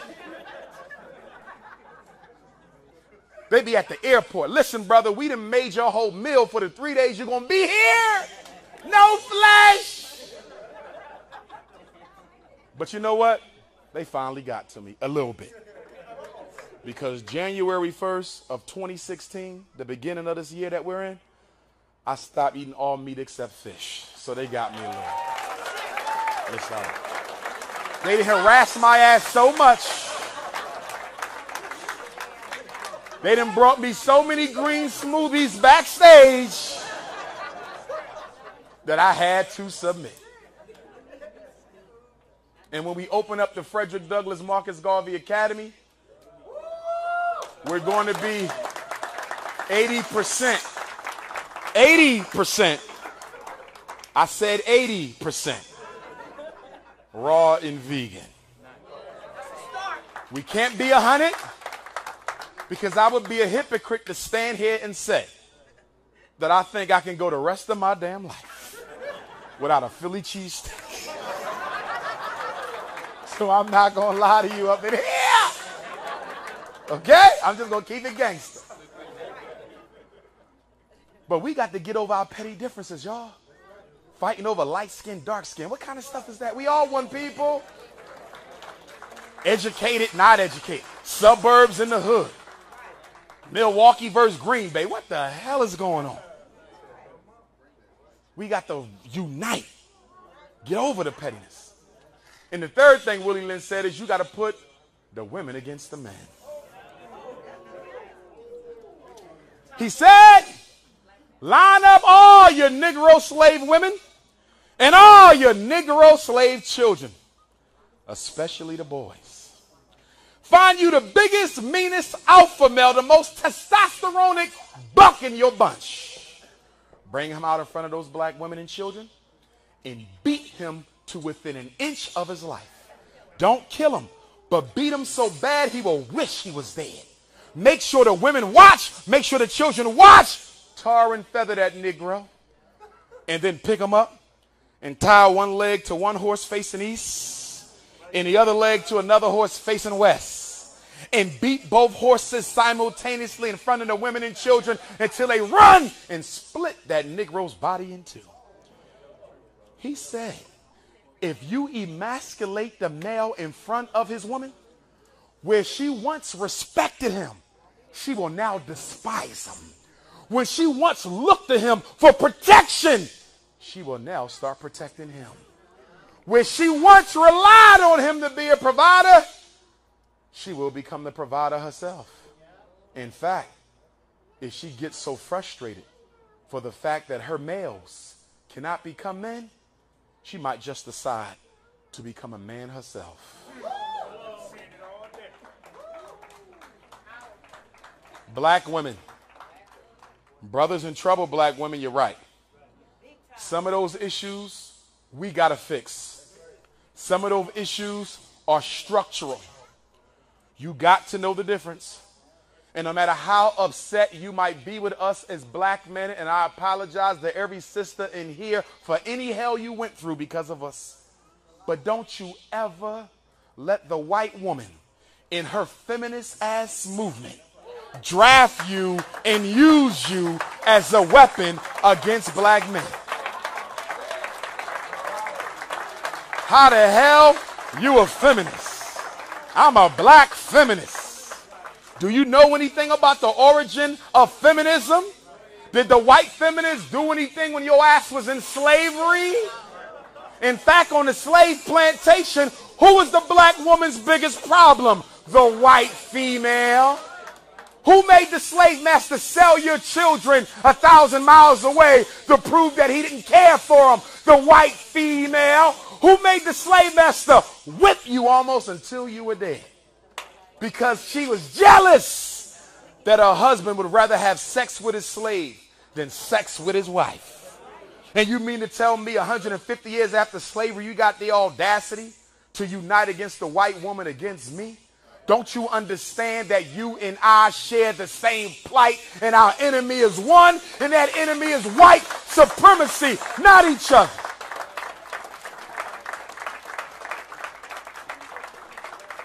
I had to tell the homosexuals that.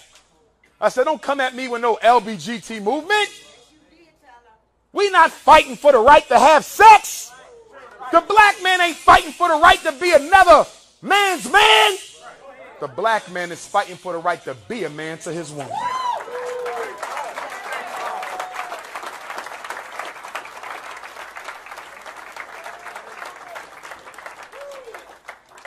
Brothers and sisters, we got work to do for announcements. Announcement number one.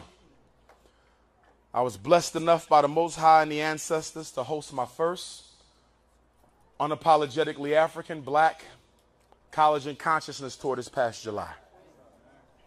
We're going to be doing it again next July. If you have a son or daughter between the age of 11 and 17, boys and girls, 11 through 17, and yes, you can send the gay ones too because we can fix all that. 11 to 17. The first two weeks in July of 2017 will be the Black College and Consciousness Tour. The first year, which is this past summer, we took him to the Audubon Ballroom where Brother Malcolm was murdered. We took him to the Apollo Theater. We took him to Ferncliff Cemetery where we pour libations at the grave of Dr. Yusuf Ben and Paul Robeson, James Baldwin, Khalid Abdul Muhammad, Malcolm X, Betty Shabazz. And then we took him to Delaware State University and University of Maryland Eastern Shore, Cheyney and Lincoln, our two oldest black colleges. I took them on a Liberty Bell tour on the 4th of July because I wanted them to see the hypocrisy of a country that claims to believe in freedom while enslaving millions of Africans. We took them to the Black African Holocaust Museum in Philadelphia, the only one in the country. On July 4th, they went. And then we took them to the Great Blacks in Wax Museum in Baltimore, Morgan State University, Coppin State University, Bowie State University, Howard University. We took him to the Benjamin Banneker House and Museum. We took him up to Troy, New York to the Harriet Tubman Grave and Museum, the Frederick Douglass Home. We took him to Great Adventures, Dorney Park. We took him to play paintball. We had a lot of fun. We went to the movies.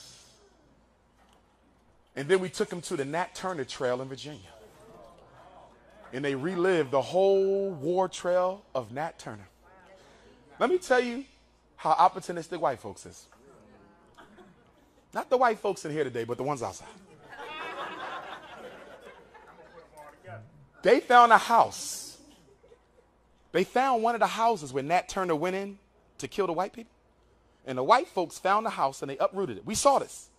And now they're about to build a little Nat Turner museum. White folks is going to build a Nat Turner museum. On this one house where some of Nat Turner's soldiers murdered some white folks. Because it's the only one that they can prove was actually a part of the revolution. Oh, they're doing the same thing with Harriet Tubman. Harriet Tubman been dead since 1913, over 100 years. And guess what we saw when we went to Harriet Tubman hometown of Bucktown, Maryland? They're now building a state of the art, right now, Harriet Tubman National Museum in Bucktown. It opens in October of this year, I think. They didn't give a damn about no Harriet Tubman. But guess what? Guess how much money they're going to make with that damn? Guess how much money they're going to make off that Nat Turner Museum? White folks don't like your history, but they'll damn sure make a buck off of it. Somebody said, What do you think about Harriet Tubman being on the back of the $20 bill? Uh uh-uh, uh she only on one side. Guess who on the other side? So Harriet is on the front. And guess who on the back? Racist ass Andrew Jackson is on the back of the Harriet Tubman $20 bill. What kind of shit is that? Let me get this right. You will put Harriet on your money. But when Harriet retired from the Civil War, y'all refused to give her a pension. Harriet couldn't get a penny from the U.S. government. But 106 years after her death, y'all want to honor her by putting her money. It ain't about that. It's called the illusion of inclusion. Making you think that we care about your ass while we planning your extermination. You and I know that if Harriet Tubman was alive today, she would say, keep your damn money. I remember when Susan B. Anthony invited Harriet Tubman to go to uh, hear Abraham Lincoln read the uh, Emancipation Proclamation. She said, Harriet, President Lincoln's in town. We should go. He's reading the Emancipation Proclamation. Harriet Tubman said, I beg your pardon, you cracker. she said, My family is in Maryland. The emancipation did not free any slaves in Maryland, Delaware, Missouri, or Kentucky. So I'm not going to hear your president read that because it don't apply to mine. Harriet was bad. That woman was bad. Even before Frederick Douglass and Marcus Garvey, she's my number one. That little old black lady all by herself, working in the night like that with a smile on her face. What she say? She said, I knew I had a right to one or two things liberty or death. if I could not have the one, I knew I would get the other.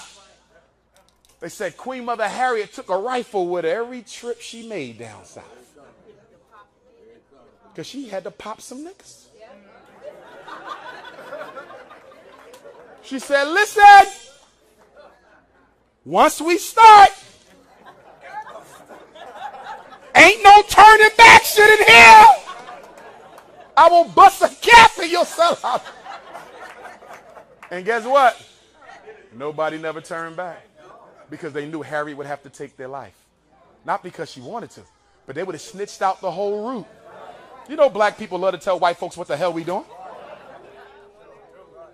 But what I love most about Harriet is when she said, I freed hundreds of slaves. Could have freed thousands. Problem was, they didn't even know they were slaves. So guess what, brothers and sisters? Next year, the college tour is going to be focused on the Southeast.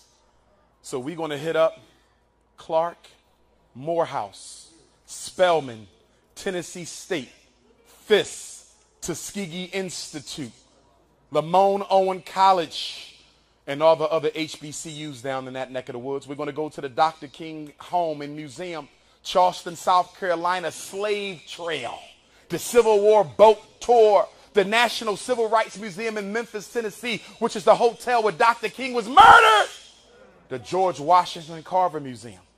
I'm looking forward to it. It's 14 days and 14 nights. The cost of the trip is 3500 but I pay 1500 You pay the other two.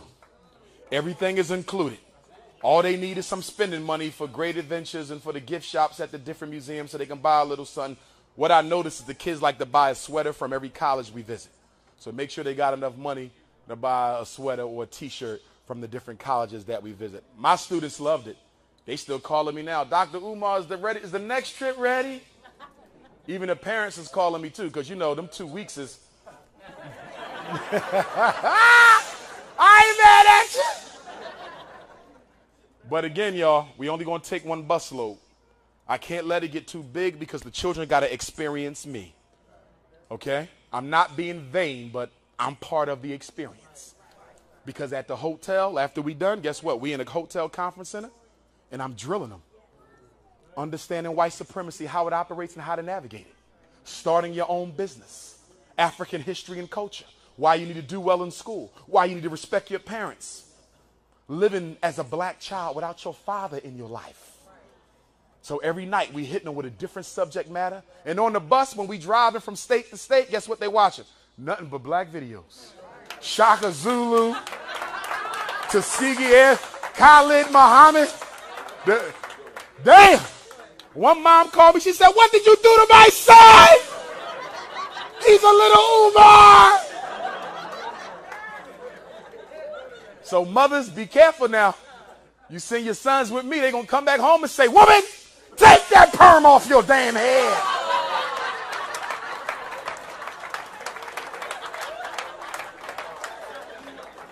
Also, brothers and sisters, and I heard Sister Cheryl talking about it backstage. Milwaukee was one of the first National Independent Black Parent Association chapters that we started. Well, guess what? We gave official launch to the organization in Baltimore, May 27th to the 29th, a few months ago. That was our first training. Our second training is in Houston, Texas, in two weeks. Friday and Saturday, September 9th and 10th. I'm hoping that some of you who want to be part of that chapter, come and get the mandatory training because you have to have it in order to operate or be a leader within the chapter. It's two days, September 9th and 10th. You can register for it right now on my Eventbrite page, Prince of Pan Africanism.eventbrite.com. September 9th and 10th, you got to come and get the training. See how we operate. We're going to teach you how to advocate for parents, how to organize the chapter, the do's and don'ts, understanding the law. Two days. Come on out. And you might even stay over to Sunday morning. The parent conference is Friday and Saturday, but the next day, Sunday, at the Shrine of the Black Madonna in Houston, I'm going to be hosting my first for sisters only relationships and dating breakfast. Hey. Can't be no kids in there. All right? So think about coming, y'all, because the Parent Association is the first national black parent group ever started in America to bring justice to our children by empowering our parents. Seven committees, a special ed committee to investigate special ed fraud. How many black kids in special ed in Milwaukee? Are they in special ed for retardation? Are they in special ed for autism? Are they in special ed for speech and language? Are they in special ed for the math disability? And what are the principals doing with your child's special ed money? Because you know special ed kids are worth twice the dollar, right? Special ed is a business. The only reason why they put your kid in special ed is to get paid. And then we need a school discipline committee. How many black kids were suspended from school in Milwaukee last year? How many were expelled from school in Milwaukee last year? How many were sent from the teacher's classroom to the principal's office and you never even knew about it? And then we need a policy committee to change the rules in the schools that work against our children. Your son go to school on the east side of Milwaukee, but you want him to go to that school over there on the west side of Milwaukee. But the principal said he can't grant the transfer because they have a policy in Milwaukee that kids got to go to school in their neighborhood. Is that a state law? Hell no. It's a local policy, which means it can be changed if we unite and organize. And then we're going to have a social support committee to help all of our struggling black parents and then we're going to have a finance committee to study how Milwaukee public schools are spending your tax dollars. Show of hands. Whoever had a contract with Milwaukee public schools that was worth at least quarter of a million dollars in here? Not one of you. Not one of you. Who got the contract to clean the bathrooms in Milwaukee school? Who got the contract to wash the windows? Who got the contract to bring in the lunch? Who brings in the books? Who brings in the school buses? Who got the after school tutoring contract? Come on, y'all. Millions of money. And this is your, this ain't no grants. This is contracts that's being paid for with your tax dollars, and you ain't getting no cut. Do you realize if you had the bathroom contract for one year, you could put 50 black people to work at least? That's why we got to go to the school board meetings. You join the Parent Association of Milwaukee, you got to go to the school board meetings. Can't be lazy because having a lazy black parent is like having no black parent at all. And then we're going to have a homeschool committee. For those in Milwaukee who want to homeschool your children, we're going to unite y'all so we can do it together. Have a network. Why we got mothers in Milwaukee homeschooling their kids by themselves and working two jobs? You're going to burn out. So we got to put it together. One sister might be the math teacher on Tuesday for all the kids. The brother be the history teacher on Monday for all the kids. Sister going to do agricultural science on Thursday. All the kids. African martial arts, all the kids. And Dr. Umar going to do introduction to white supremacy on Sunday while they mom praying to Jesus Cracker. All the kids. All the kids. And then we got to have a parent advocate committee because we need some of y'all to be advocates for the other parents because no parent should ever go to a school meeting alone. No parent should ever go to a school meeting alone. Mothers, I hope you're listening. Fathers, I hope you're listening. Stop going to the school by yourself. Take somebody with you. Why? Because they will intimidate you, bully you, manipulate you, lie on you, and forge your name on papers you never signed. I've seen it. Take somebody with you. Black man, I know you're not scared of white folks, but you got to take somebody with you because you ain't scared of white folks. Because that teacher going to tell you your boy needs special ed, and you're going to say, nah, man, I was in special ed. My son ain't going. Well, I really think you need to rethink it. And you're going to say, Miss Slurbanowski, I done told your ass that my son. And then she's going to say, well, I really think. We... and then she's going to say, oh my God, his eyes dilated, the pupils, his vein popped out, my heart gave out, my legs dropped. And the next thing you know, you've been escorted out in handcuffs. Restraining order. I got fathers who can't even go to the child's home to pick up the report cards to the school to get the report cards. Can't even go to the graduation because the white teacher felt threatened by his presence. Stop going to the school by yourself. Take your aunt, take your cousin. You'll be able to take somebody from the parent association in a minute. Witness protection plan. I don't go by my damn self. They would love to get me on some shit. That's right. Because what they do, black mother, They put the black mommy in the room to talk about Raheem, and then they make you sweat it out for 10 minutes in a room with no AC, and then they come in, the whole white army. The principal, vice principal, principal intern, nurse, counselor, social worker, psychologist, reading coach, math coach, dean of students, bathroom cleaner, window washer, lunch man. One black mother, 30 crackers. Am I wrong? And then they say, we heard Dr. Johnson was here at Fresh Start on Sunday. And we respect some of the things he has to say, but he's a bit extreme. And you can't let some radical from Philadelphia tell you how to raise your children. Listen, Miss Slurbanowski taught you as a child.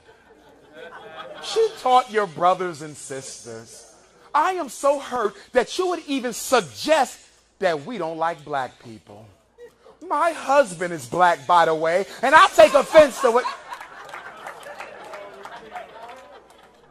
White shit. And y'all start, oh, I'm sorry, Miss Slurbanowski. I didn't know you was liberal. And then when they think they got you, what they do? Secret weapon. Queen Mother Kujichagulia from the Kwanzaa movement comes in the room. You didn't know she she got shea butter, veggie wraps, incense. She's the home and school coordinator. And she comes up to you and she said, listen to me. I'm old enough to be your mother and Dr. Umar. Now, I ain't got all them fancy degrees and none of that, but I'm Queen Mother Kujichagulia. You grew up on my black history program. Listen, he's right. White people are racist, but not all of them. These are good white people. I've been working with them for 30 years. Listen, don't you love me? I'm your queen. I'm your elder.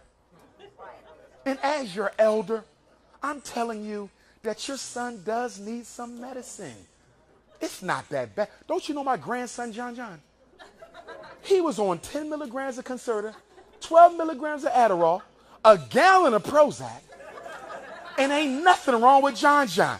Yeah, they caught him walking butt naked down the street last night, but not because of the medicine.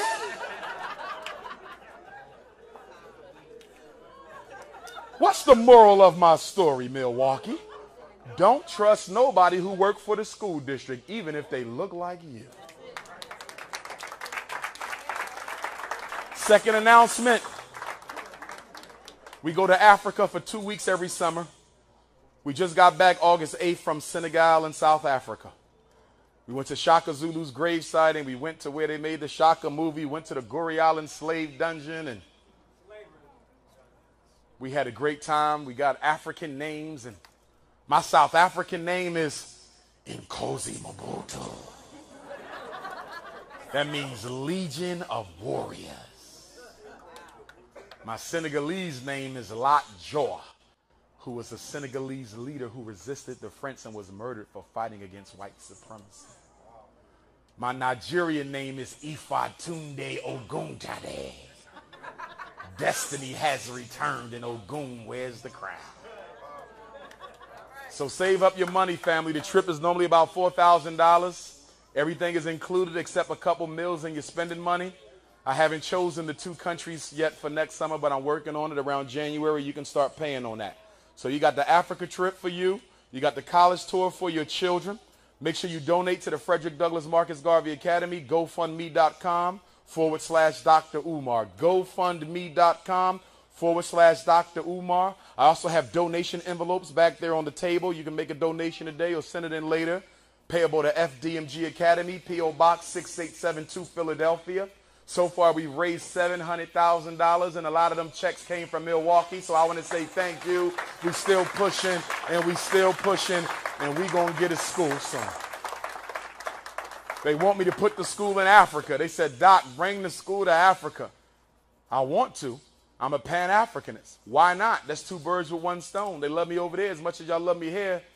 But because most of the money did come from here, and because most of you ain't thinking about no damn Africa, I want to put the first school here. Also, if you want to work at the school, send me your resume.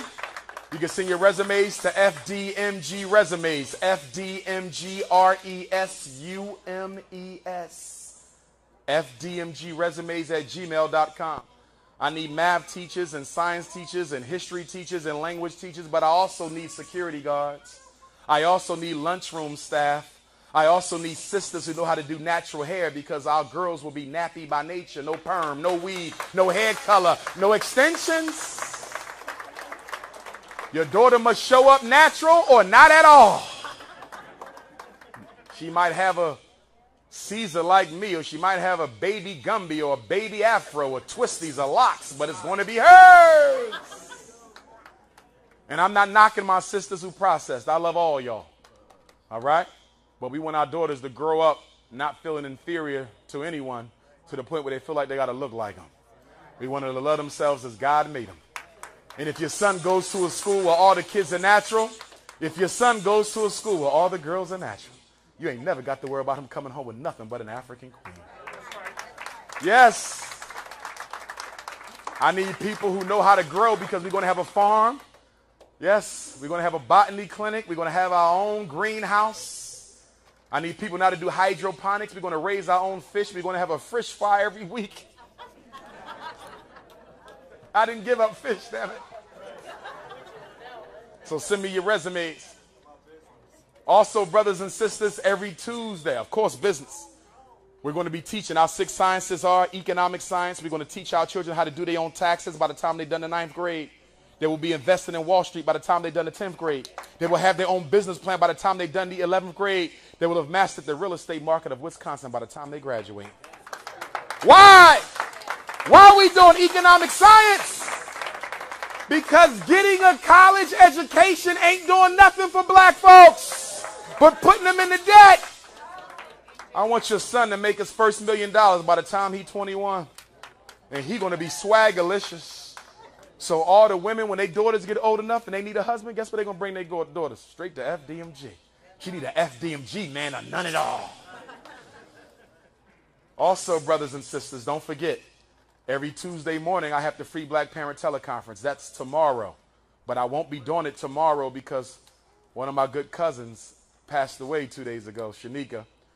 She and I were very close. We were born the same week. She was August 14th. I'm August the 21st. We grew up together, and now she's gone.